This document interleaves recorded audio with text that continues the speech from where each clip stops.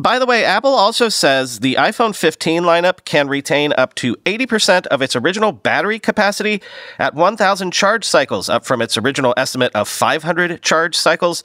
This is notable considering the various controversies around iPhone battery life claims over the years. Quoting 9 to 5 Mac. Apple says that its testing involved charging and discharging the battery 1,000 times under specific circumstances representing common use cases. The improvement is due to Apple making continued updates to battery components and power management systems over the years. Apple says that this change in battery cycle lifespan only applies to the iPhone 15, 15 Plus, 15 Pro, and iPhone 15 Pro Max. Previous iPhone models continue to be rated at retaining up to 80% capacity at 500 complete charge cycles. The company adds, however, that it is currently investigating older iPhone models as well, end quote. And quoting Macworld.